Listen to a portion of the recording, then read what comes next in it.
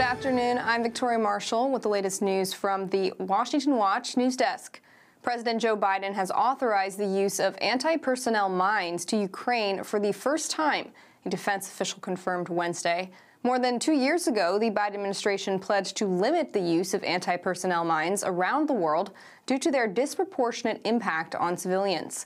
Now, this reversal is the Biden administration's second policy flip in several days as the outgoing White House seeks to shore up Ukraine's defenses against Russia before President elect Trump takes office and likely reduces U.S. support of Ukraine. On Sunday, the U.S. also authorized Ukraine to use U.S. provided long range missiles to strike targets inside Russia. Ukrainian forces fired the missiles into Russia yesterday. On Wednesday, they fired British made Storm Shadow missiles into Russian territory as well. Now, the story comes as the U.S. closed its embassy in Kiev, citing threats of a potential significant air attack from Russia.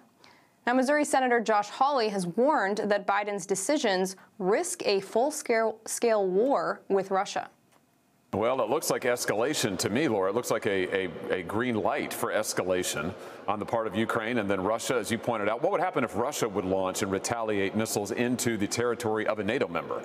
Then our treaty obligations would be triggered. Then we're talking about a full scale war. I can't imagine that President Trump wants that. He's been totally against it.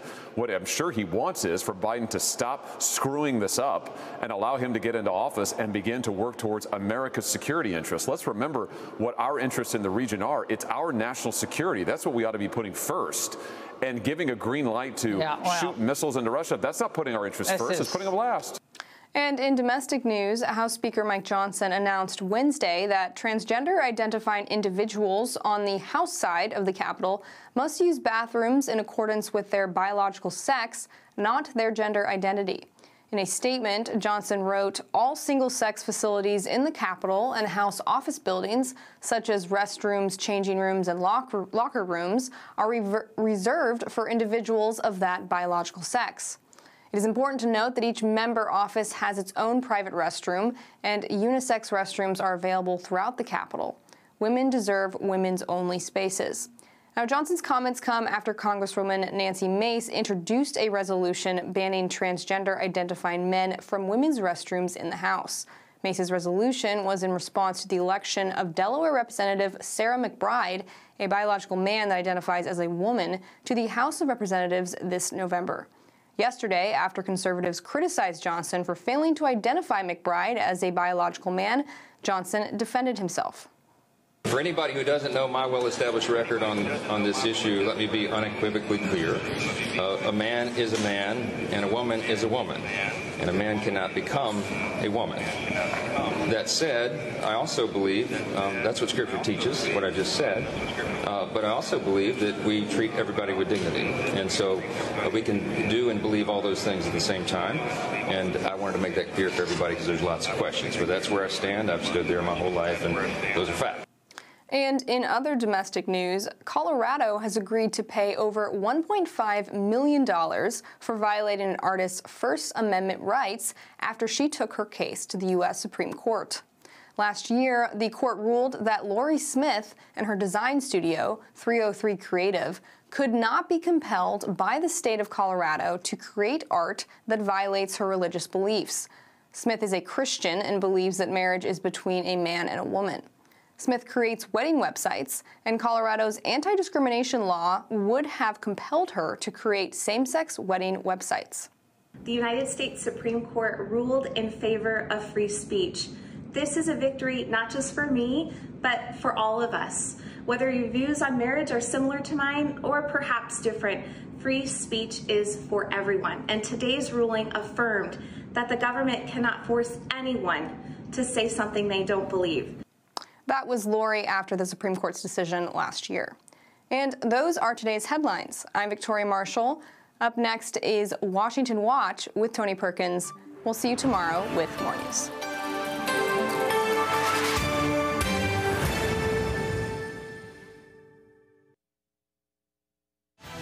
From the heart of our nation's capital in Washington, D.C., bringing compelling interviews, insightful analysis, taking you beyond the headlines and sound bites into conversations with our nation's leaders and newsmakers, all from a biblical worldview.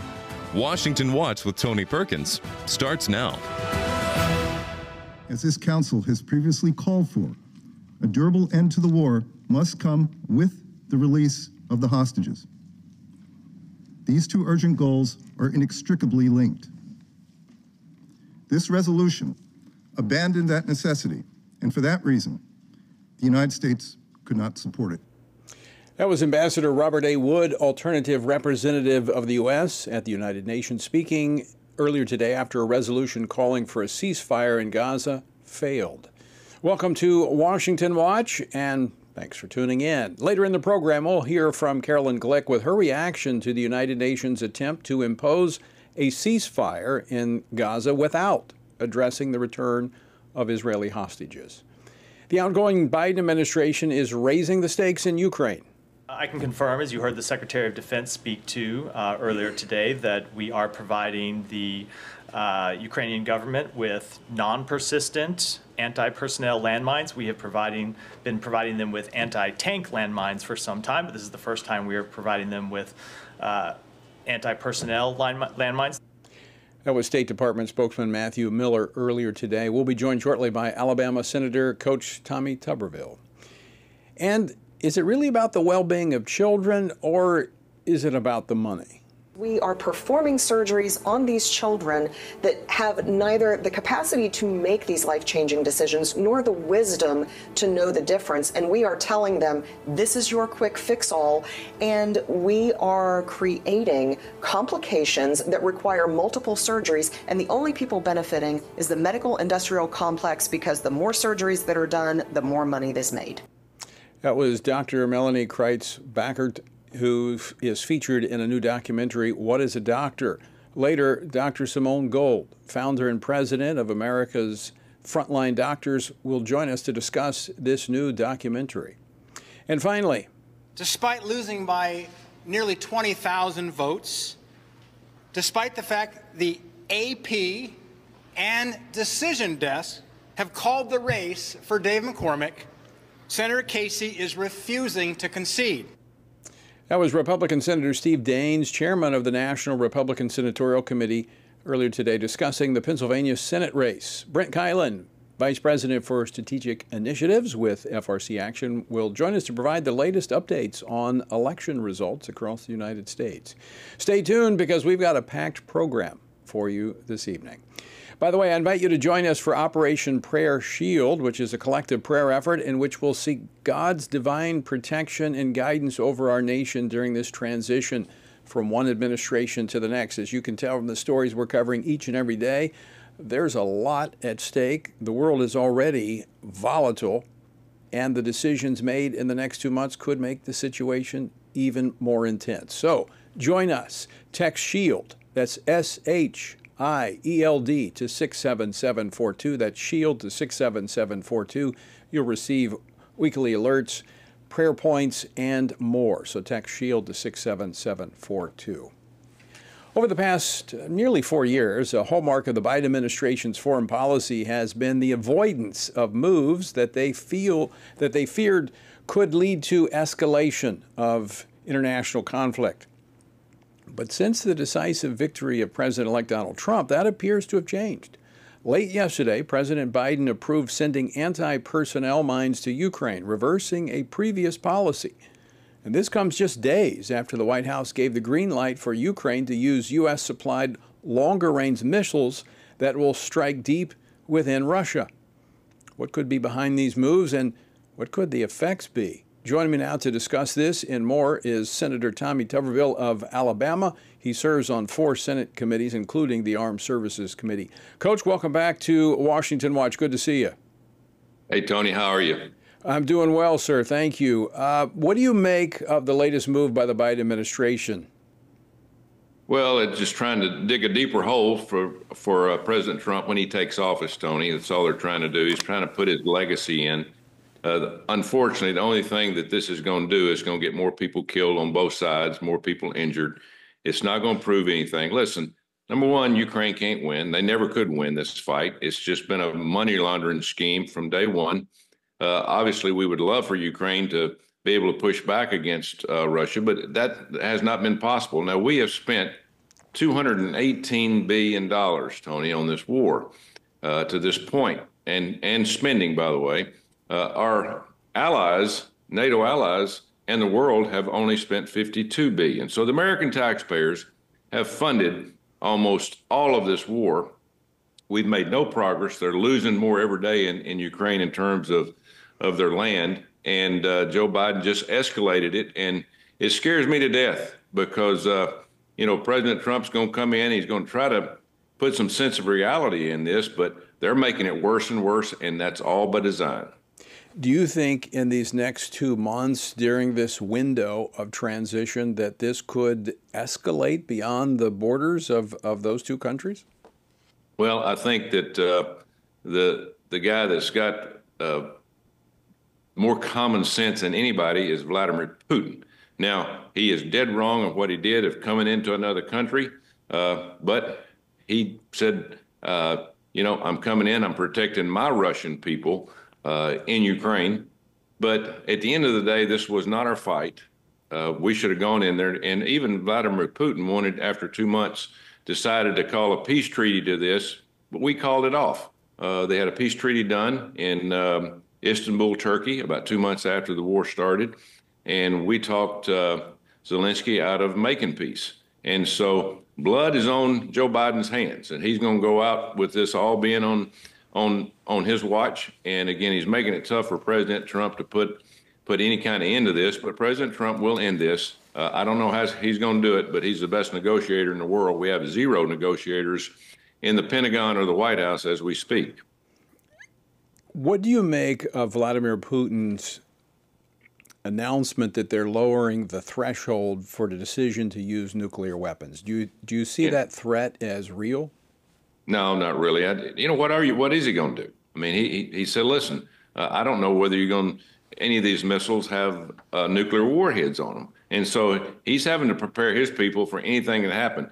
Uh, he's dealing with a uh, a scared uh, leader, so-called leader, in Zelensky in Ukraine. He's dealing with a bunch of crazies in this Pentagon over here. That's all they're wanting to do is keep this fight going and prove that they were right all along, but they know that they're wrong. And uh, again, if Joe Biden wanted to do anything other than giving more missiles to shoot into Moscow and giving mines put on the ground to kill innocent people, he would load up his plane, leave at the Amazon where he's bird watching, and fly to Moscow and say, okay, let's get this done. I'm almost history as United States uh, uh, president, but I want to get this done. Let's get it over with. Quit killing people. But there is no sense of reality, no common sense in this White House. Speaking of the Department of Defense, according to reports, the Department of Defense failed its seventh consecutive audit this past Friday because it was unable to fully account for its nearly $1 trillion budget, $824 million. Uh, something need to be done there? Oh, it's something's going to be done. And, uh, you know, a new sheriff's getting ready to be in town. His name is Donald Trump, along with his deputies, uh, Vivek Ramaswamy and and uh, Elon Musk. Uh, they are fired up about coming in and start throwing stink bombs in all these buildings in Washington, D.C. So get out and let's do the accounting and let's find out where the taxpayers' money are going. We're tired of spending it. Tony, the bureaucracy up here is about 10 layers deep. They never fire anybody. Uh, by the way, then nobody works in the office down here anymore. All, you have all these beautiful buildings here for all these bureaucrats and all these agencies, and they all work from home. And uh, it's time to go back to work. It's time to work for the American people. And if you don't want to do it, uh, retire, do something else. But President Trump is going to get some sense of reality here. Tony, we, we don't have another chance. This will be the last time in your and my lifetime we'll have a chance to save this country. We only have two years uh, to do it. President Trump is going to hit the ground running, and we have to put everybody on notice that you got to be accountable for every dime. And if you get that money, you spend it the right way you spend it on the American people, you protect the American people, and you do everything you possibly can to give us a chance and opportunity to lower taxes where people here can live a lot better life. So, so Coach Tuberville, you, you, you've been here long enough to know that things are not functioning. Hmm. what do you see as the top three changes you would like to see as Donald Trump comes in and you've got a Republican Senate and you've got a, a slim majority, but you've got a majority of Republicans in the House? What do you think is number one, what needs to be done, and what is possible? What's possible to get done? Yeah, first of all, we got to redo the tax form, uh, tax, tax uh, bill that President Trump put into effect a few years ago. We got to make it permanent law. We got to drop taxes for the American people. Everything that the Biden administration has done is they regulated and taxed. This climate hoax that they've been pushing on everybody across the world, including the United States, is nothing but a tax. So we got to do the tax reform. We've got to close the border. We've got to build our military back and we got to do something about education. We got to get God back in our schools, talk about families. We got two genders. We got to do everything possible to get back to common sense. But we got to teach these kids to read, to write, civics, history, science, the basic things, because, Tony, as we speak, half the kids in this country can't read past the sixth grade reading level. And you got these teachers unions that are sucking the American people dry on $27,000 per student a year that we spend, which is almost twice as much as any other country. And our kids are being cheated of an education. We're 29th in the world in education when we should be number one. Uh, President Trump has said in part it's the it's uh, disassembling the Department of Education. Do you see this as giving education back to the states? Because honestly, the, the federal government doesn't provide that much. About 7 to 10 percent of the funding comes from the federal government, but they put a lot of strings on that 7 to 10 percent. Is this something the federal government needs to get out of? Yeah, the federal government basically holds uh, the states hostage. If you don't do this, if you don't do that, we're not going to send you your federal money. You're t- exactly right. Most of the money comes from the states. So President Trump needs to come in. And again, this is the reason I ran for this job. And I, we, you and I have talked about this because I went into high schools, in elementary schools, in higher ed schools for the last 35 years before I got in this business. And I was shocked at what they were teaching, what was on the transcripts, the, the no education whatsoever in our urban areas. Our, our rural areas are not bad, but the teachers unions have had a had a stranglehold on parents and, and, and the things that they're doing in these schools. So, uh, yes, President Trump will have a, a Secretary of Education, which is um, uh, McMahon, I think. And I think that the, the first thing that we have to do there is we've got to streamline Washington, D.C. We've got about 3,000 employees. Why? Why do we need those? It's time for to cut our losses, have a small group up here in Washington, D.C., send the education back to the states, let them make decisions for their own communities, for their own state. Every state is different, and do the things that we need to do to educate our kids. It's the number one thing that we have to do to change this country around because it's about family and education and God. And those three things, if we don't get those back, this country will not survive as the greatest country on the face of the earth. You're absolutely right. We've got to get on the other end of the pipeline and make sure these kids stop or stop, that the indoctrination stops. And the best way to do that is let the local communities do that, get it away from Washington, D.C. Coach Tommy Tuberville, always great to see you. Thanks so much for uh, joining us today. Thank you, Tony. God bless. All right. It is, folks, and that's something to pray about. We need to make sure that local communities get control and parents, parents need to control education. All right, coming up next, a new documentary is out that exposes the so called gender affirming care for what it really is. It's about making money. That's next. Download the new Stand Firm app for Apple and Android phones today and join a wonderful community of fellow believers. We've created a special place for you to access news from a biblical perspective, read and listen to daily devotionals, pray for current events, and more. Share the Stand Firm app with your friends, family, and church members, and stand firm everywhere you go.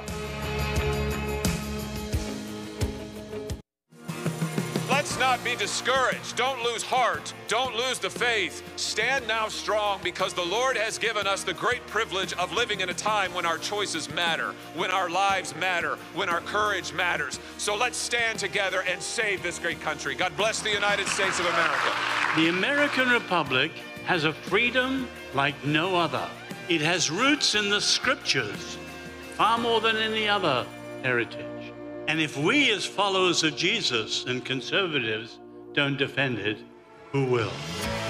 Neutrality is not an option. There are many Christians who believe that if we just keep our heads down, if we just don't say the wrong thing, that, that somehow we will come out of this unscathed.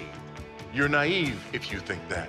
Because what they want from us is not our silence. What they want from us is our submission.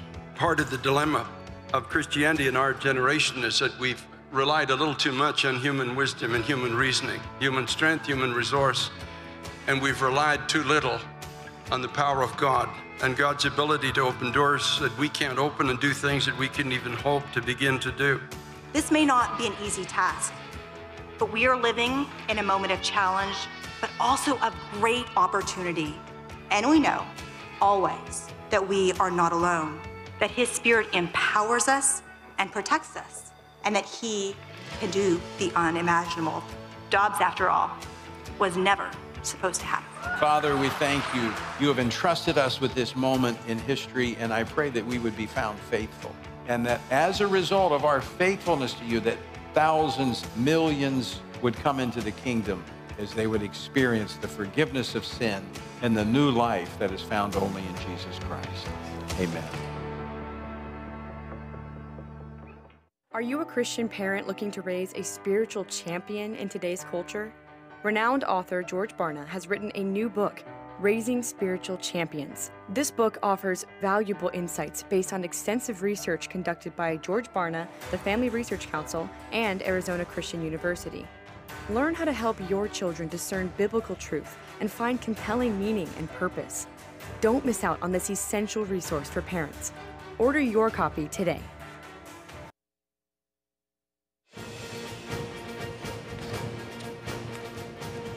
Welcome back to Washington Watch. Good to have you with us. The website, TonyPerkins.com. Better yet, download the Stand Firm app. You can have us in your pocket anywhere you go. You'll have alerts, information, action steps to take to make sure you are informed and engaged as a citizen in the United States. Again, that's the Stand Firm app. All right, we've discussed at length on this program how people have been losing confidence in the media and the government. Well, many have also lost confidence in our medical institutions, especially after we saw doctors blindly pushing for the COVID jab on everyone during the pandemic, even supporting mandates on Americans regardless of whether or not they were in vulnerable categories. And with so many kowtowing to transgenderism, many Americans are rightfully asking, what's a doctor? I mean, they're just like a politician in a white coat? Well, what is a Doctor is the title of a new documentary that tackles this very question. And here now to discuss it, Dr. Simone Gold, who assembled some leading voices in medicine for this documentary. Dr. Gold is an experienced emergency physician and attorney, and is, she is also the founder and board chairman of American, America's Frontline Doctors. Dr. Gold, welcome to Washington Watch. Thanks for joining us. Thank you. Delightful to be here. So let me ask you this what inspired you to put together this documentary? We physicians were very upset during COVID to watch mm, really the healthcare in institutions and infrastructure just kind of collapse and not put patients first. It was shocking, astonishing, disheartening. And the good news about it is many independent minded physicians did find each other. And we have built a strong coalition, strong support group for each other to help patients. So we got to thinking really, what is a doctor? Is a doctor a pill pusher? Is a doctor just a government employee? You know, there is a mouthpiece for the government. What is a doctor? We independent physicians know that a doctor has a higher calling, a special relationship to another human being sitting in front of them, and we put the doctor patient relationship first. And we are standing for our patients who need us. That's what a doctor. I want to get to the heart of the, the subject matter in this documentary on the transgender craze that uh, the medical community has been pushed into. But before I do, I want to ask you, what about these medical associations that, you know, you've got these little number, these letters behind your name as you're a part of this, you know, this nice association, but they've been so politicized? Yes, it's it's horrific. So in my in, the good news is they are much less powerful than they used to be. In my father's day, the American Medical Association represented about two thirds of physicians. Now I think the number is about fifteen percent. People don't know that they don't advertise it, but that's the truth. Many of us are choosing to leave these associations behind in the dust. They're terrible. An example of terrible is American Medical Association, the American Academy of Pediatrics. I would not go to a doctor that has those initials after their name. They've been corrupted. The evidence is overwhelming that they're not putting patients' best interest first. It's really a shame, but we have an opportunity to build back something better. And that's what you've been doing in, in terms of gathering these independent doctors who are willing to speak out. And of course, I often say in this program, courage breeds courage. So when someone steps forward, it's not long before others will step forward. This documentary takes on something that the American people, I think, are onto now and that is this so called gender affirming care, which is nothing more than experimental drugs and surgical interventions and young people. Uh, most of them who couldn't even legally get a tattoo on their own are sometimes undergoing the, the, the, the blade, have healthy body parts cut off. Talk about the documentary.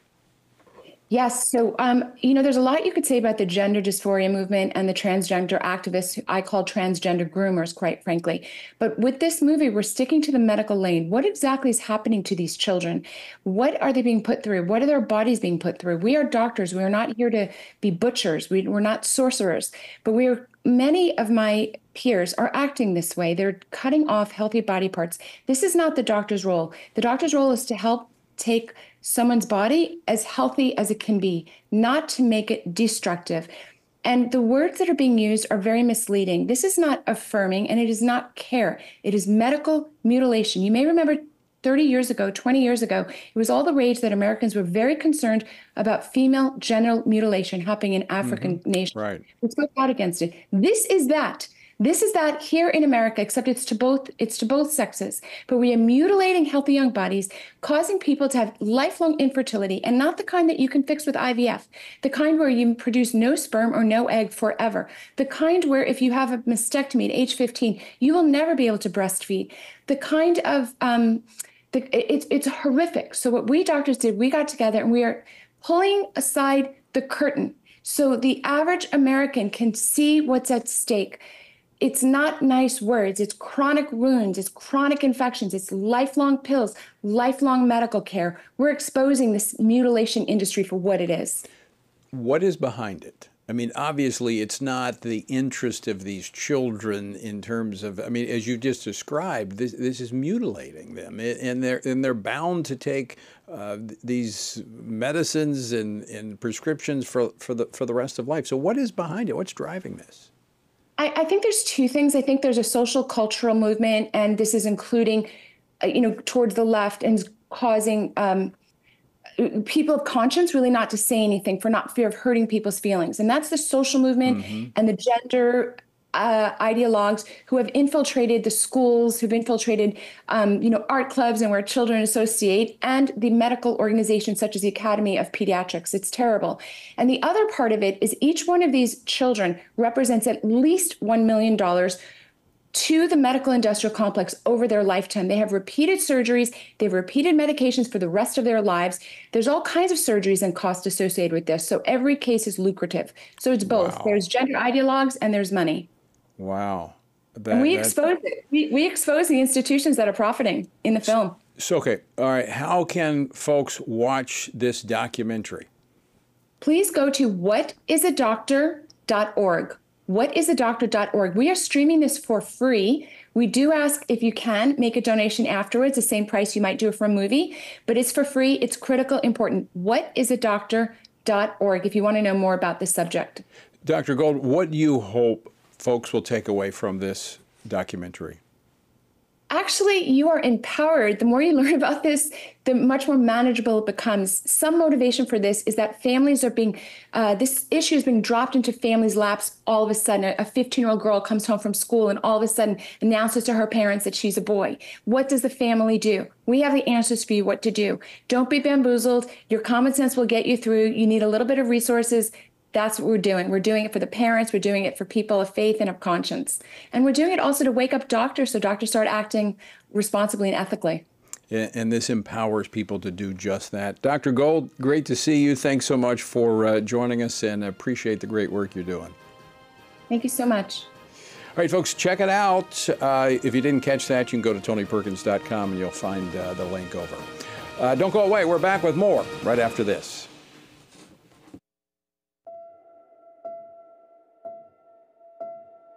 All of us are born with the desire to find truth and meaning. Where did I come from? What happens when I die? While our answers to these questions may divide us, we are united in our need for the freedom to answer life's biggest questions and make life's biggest decisions for ourselves. That's why religious freedom matters for everyone. Religious freedom matters because the powerful have long wanted to control those who are less powerful. Religious freedom matters because the freedom of those who are different is often threatened by those who believe different is dangerous. Leah Sharibu, a Christian teenager in Nigeria, remains a captive of Boko Haram for her refusal to renounce her Christian faith. Chinese pastor Wang Yi is serving a nine year sentence for speaking publicly against the Chinese government. In Pakistan, Asif Pervez is on death row for allegedly sending a blasphemous text message. All of this because people in power decided different is dangerous.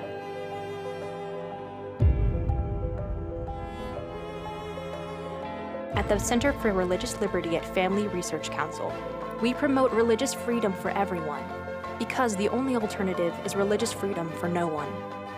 We encourage Americans and the American government to engage and advocate for the persecuted, and they do. We work every day to bring good news to the afflicted, to proclaim liberty to captives and freedom to prisoners. We do it because that's what Jesus does. We work to give freedom to others because we ourselves have been set free.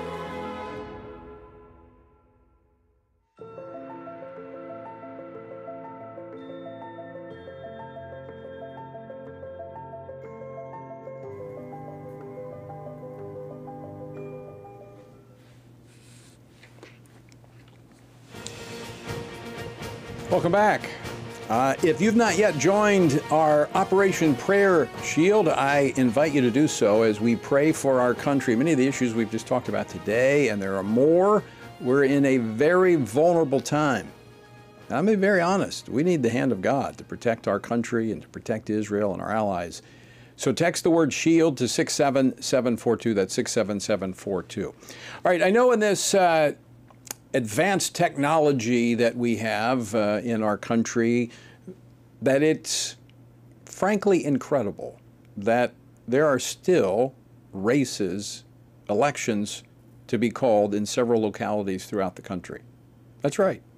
It's been two weeks since Election Day, and there are still races that they haven't decided the outcome.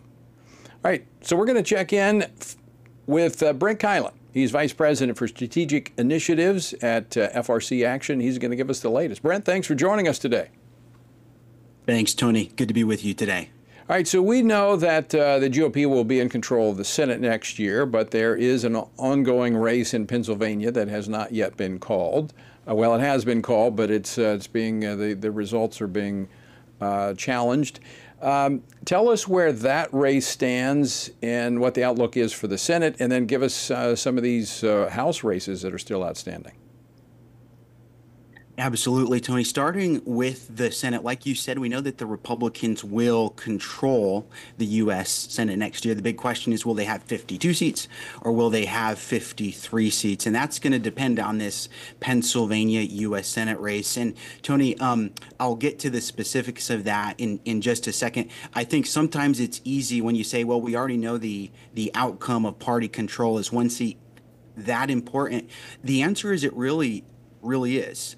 Um, if you look at a chamber the size of the U.S. Senate, it's a lot smaller than the U.S. House, and every vote really, really does make a difference. So even this one Pennsylvania U.S. Senate race, it, it's important. It's really important. So where do we stand? Well, like you said, they have uh, called it for uh, Republican Dave uh, McCormick. He was taking on incumbent Senator Bob Casey there. But the rule in Pennsylvania is that if the race uh, is decided by uh, half a point or less, there's an automatic uh, statewide recount.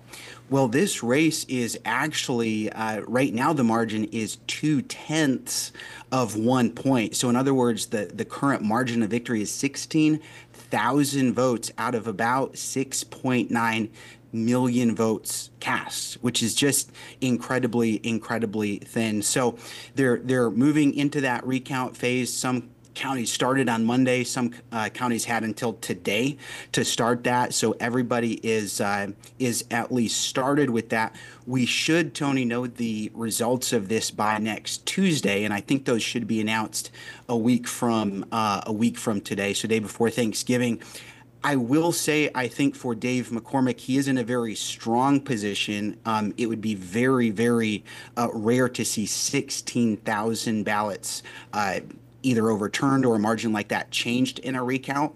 But you definitely have to keep your eyes open uh, in, in a situation like this. So if the Republicans hold on to that seat, that gives them what? That gives them the 53, 53 seats going into next year which is, uh, you know, there's still, for cloture votes, they've got to have 60, but for a lot of procedural things, for it's 50 as they've changed some of the rules. So uh, that does give them a little bit of a cushion.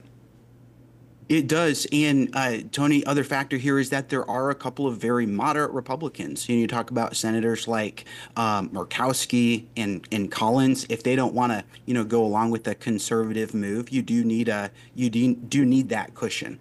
So this is very important. So th- this um, this basically disarms them from being able to hold the uh, the Republican majority hostage if you have a third does. seat.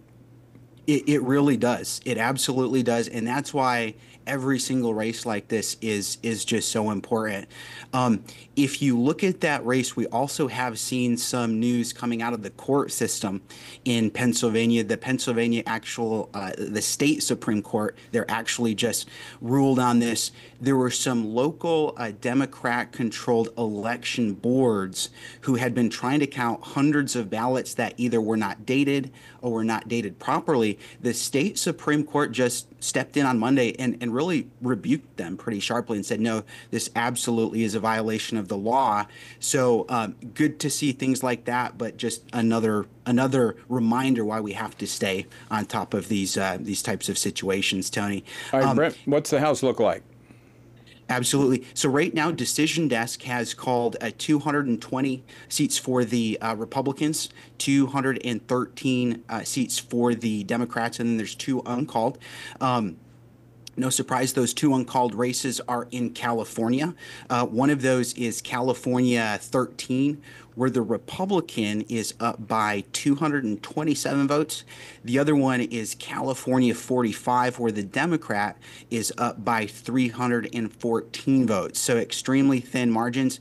Tony, that being said, there's a couple races that have been called by a decision desk still worth keeping our eye on. Um, in Iowa, there's a congressional race where the Republican won, but by 800 votes. That's heading to a recount. Uh, in Ohio, there's a Democrat held seat. Democrats probably going to win uh, by 800 votes. That's also heading to a recount. And then the Alaska at large, because of their um, their ranked choice voting system there, we need to keep our eye on that as well.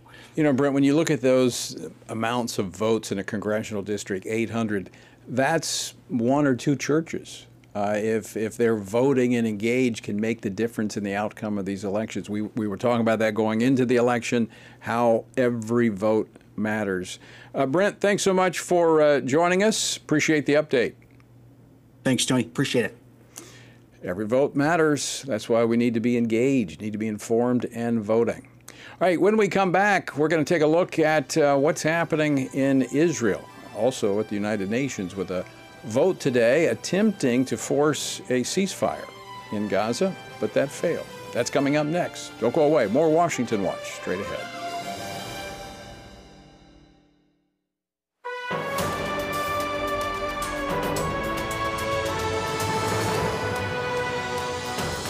Hello, I'm Tony Perkins, president of the Family Research Council here in Washington, D.C.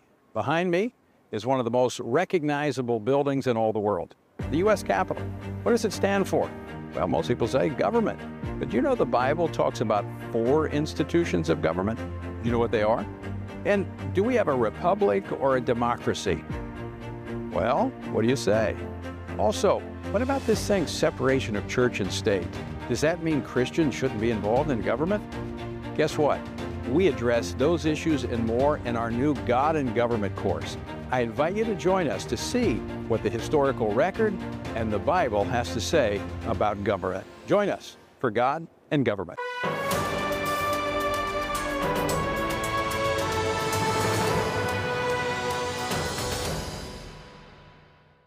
Everything we do begins as an idea. Before there can be acts of courage, there must be the belief that some things are worth sacrificing for. Before there can be marriage, there is the idea that man should not be alone. Before there was freedom, there was the idea that individuals are created equal.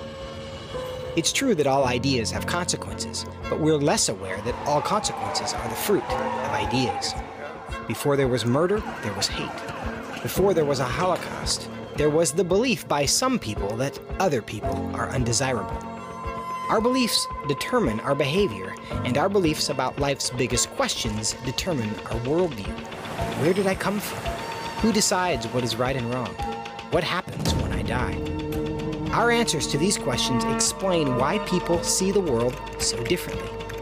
Debates about abortion are really disagreements about where life gets its value. Debates over sexuality and gender and marriage are really disagreements about whether the rules are made by us or for us. What we think of as political debates are often much more than that. They're disagreements about the purpose of our lives and the source of truth. As Christians, our goal must be to think biblically about everything. Our goal is to help you see beyond red and blue, left and right, to see the battle of ideas at the root of it all. Our goal is to equip Christians with a biblical worldview and help them advance and defend the faith in their families, communities, and the public square. Cultural renewal doesn't begin with campaigns and elections. It begins with individuals turning from lies to truth. But that won't happen if people can't recognize a lie and don't believe truth exists. We want to help you see the spiritual war behind the political war, the truth claims behind the press release, and the forest from the trees.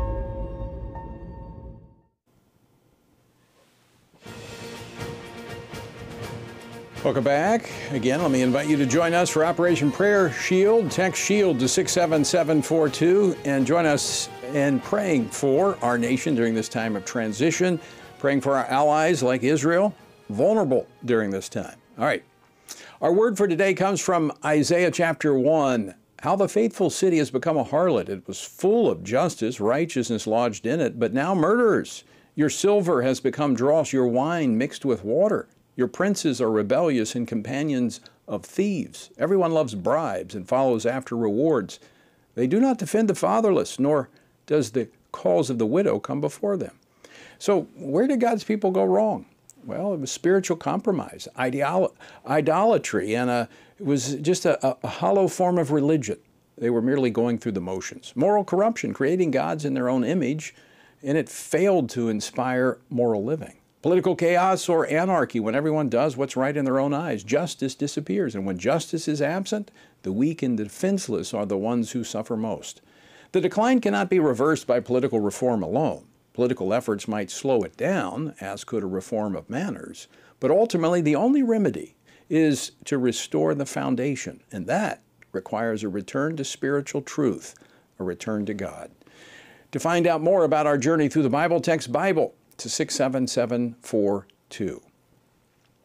Earlier today, the United States vetoed a UN security resolution uh, that would have called for a ceasefire in the Israel Hamas war, noting that it did not call for the release of the hostages. Now, 14 of 15 council members voted yes to the resolution, but the U.S.'s sole no vote was enough to squash the resolution.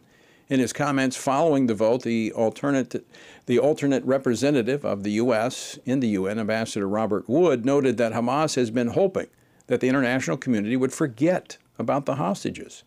Does the 14 to 1 vote suggest that they may be succeeding? Joining me now to discuss this and other developments in the Middle East is Caroline Glick. She is a senior contributing editor at the Jewish News Syndicate and host of the Caroline Glick Show on JNS. Caroline, thanks so much for joining us today. Oh, it's great to be with you, Tony. It's really wonderful. Thank you. Well, welcome to the States. Uh, I know you're over here for a little bit. Uh, let me get your thoughts first on this latest resolution and today's vote. Well, first of all, I was very gratified to see that the Biden administration did, in fact, veto it. It was touch and go for a while, and that, that was disturbing. Uh, but uh, at least they came through in the end, and they vetoed this uh, deeply, deeply hostile resolution. We have two more that are in the pipeline uh, that are supposed to go forward in the next uh, few weeks. The first one is a bid in the UN General Assembly to oust Israel from the General Assembly that's been put forward by the Palestinians and they have an automatic majority for that if they go through with the vote, as they have for every anti Israel resolution that they put forward. And then there's another one that would uh, place, uh, uh, make it illegal and sanction Israel if we conduct any uh, construction activities not only in Judea and Samaria, but in Jerusalem and in the Golan Heights. So that would be a very, very serious action by the Security Council if it goes forward. And so we're facing an all out onslaught against Israel at the UN, which just shows how deeply, deeply demented uh, that organization is, that they are siding with mass murderers against a democracy that's fighting for its survival and fighting these just forces of evil in the Middle East. Uh, Caroline, I, I, agree. It was good news to see the Biden administration take this veto, cast this veto vote in the UN today. But when I look at the Biden Harris administration, it looks like the Dr. Jekyll, Mr. Hyde administration.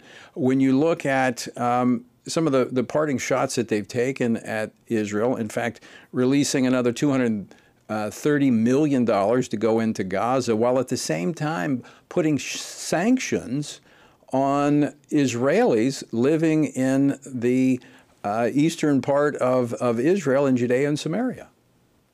It's, it's actually extremely shocking. I mean, we have to bear in mind that since October 7th, the uh, United States government under the Biden Harris administration has poured $2 billion into the Palestinian coffers.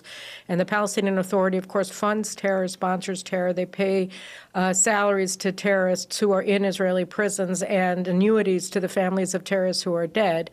So that's one aspect of it, and it's just as a terrorist authority.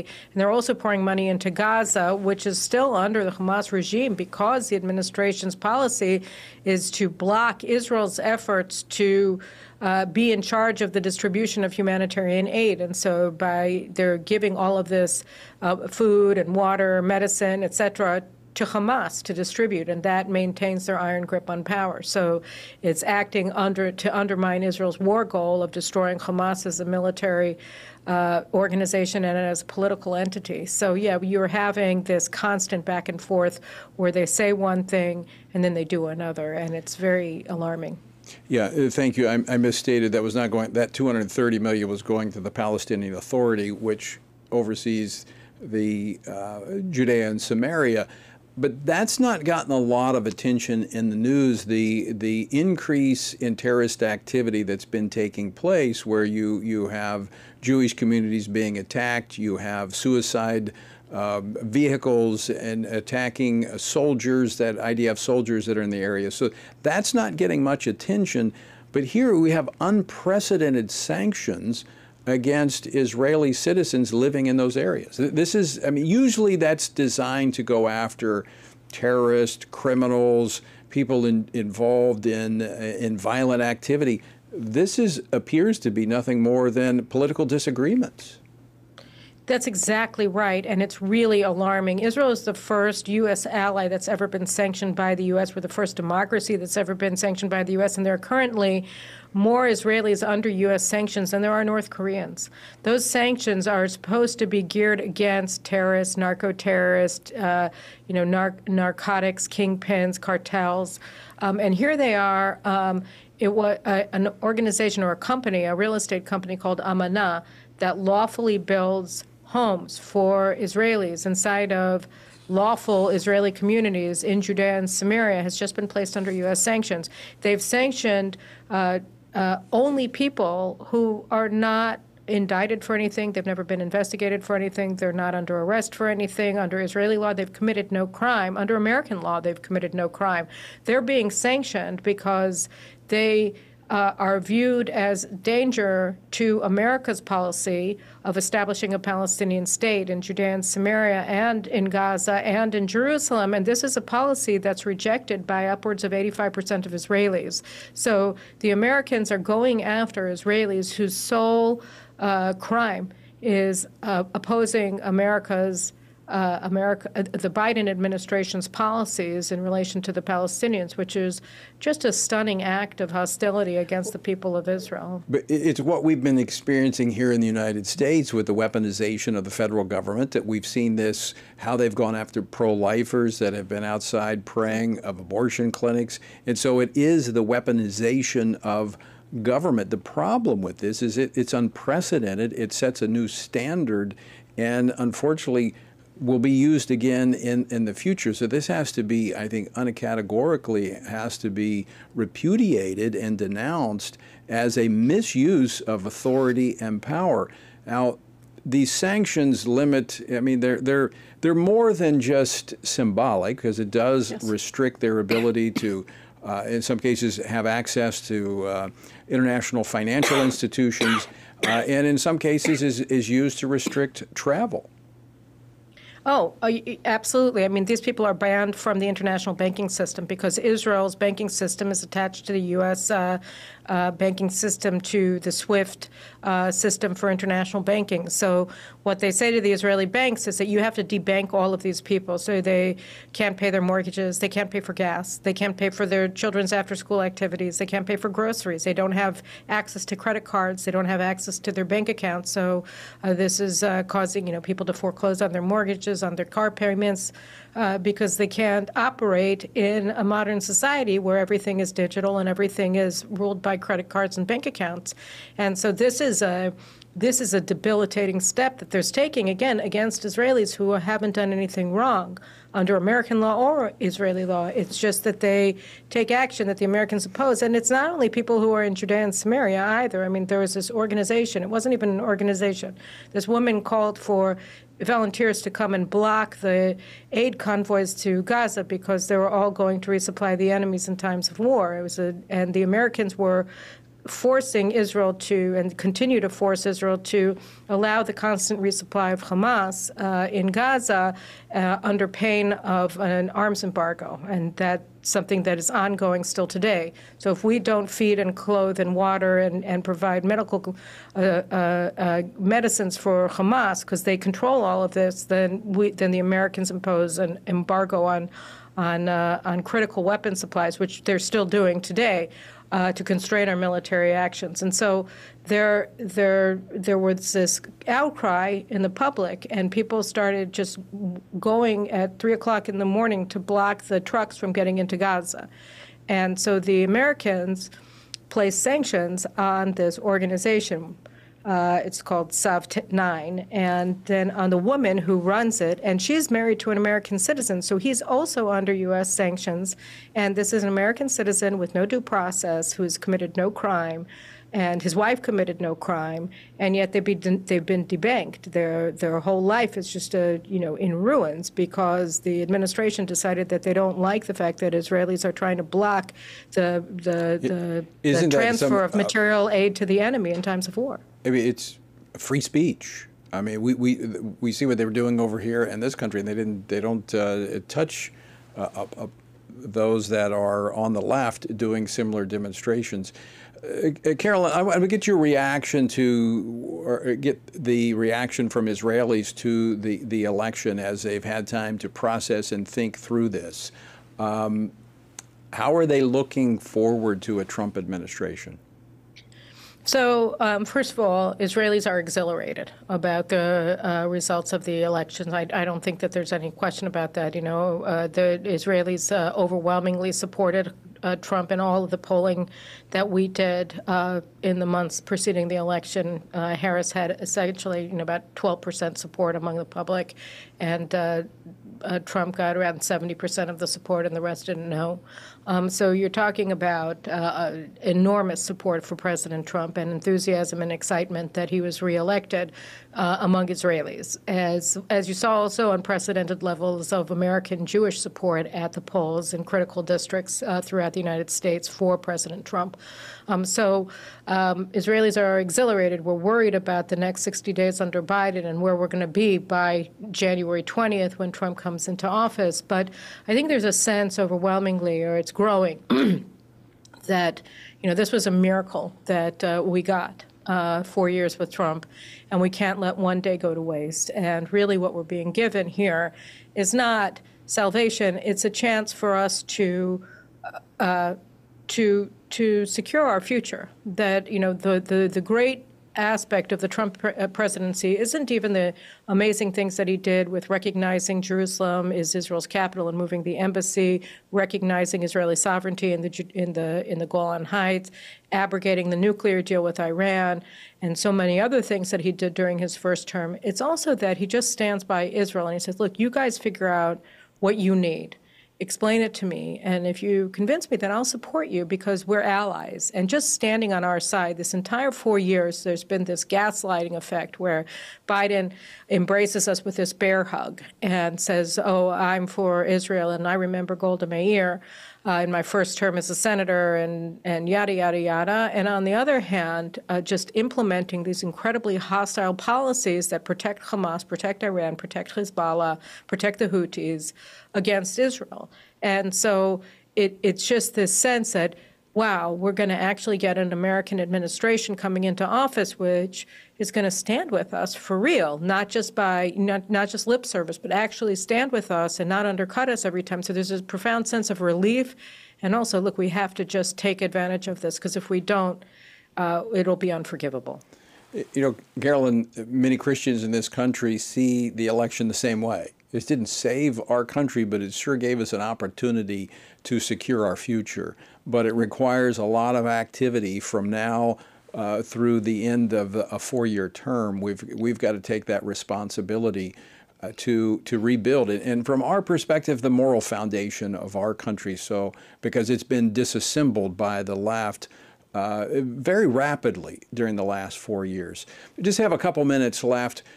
I know you spoke generally, and it just it's it's nice to have a friend in the White House, a friendly administration. But are there any specific steps that Israel would like to see from the incoming administration? I think it'd be very uh, important for the administration to say, look, we don't support a Palestinian state.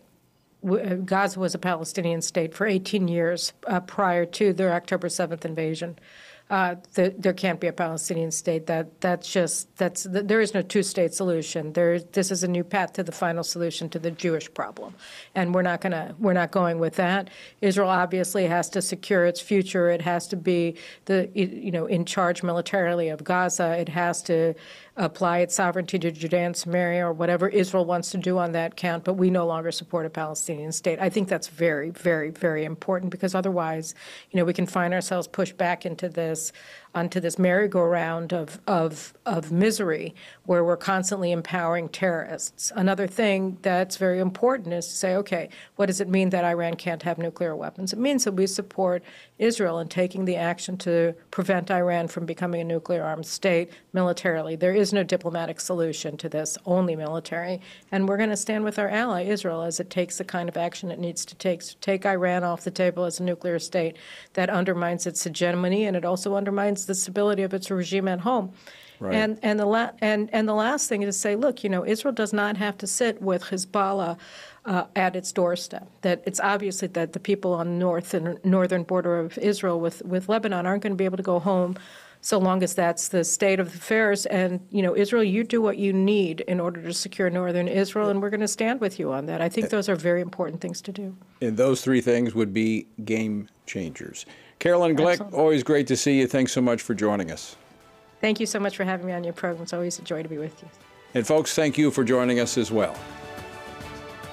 Washington Watch with Tony Perkins is brought to you by Family Research Council and is entirely listener supported.